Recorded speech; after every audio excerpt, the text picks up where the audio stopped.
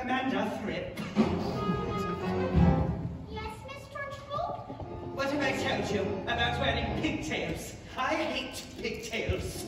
But my mummy likes them. She says they make me look pretty. Then your mother is a twit.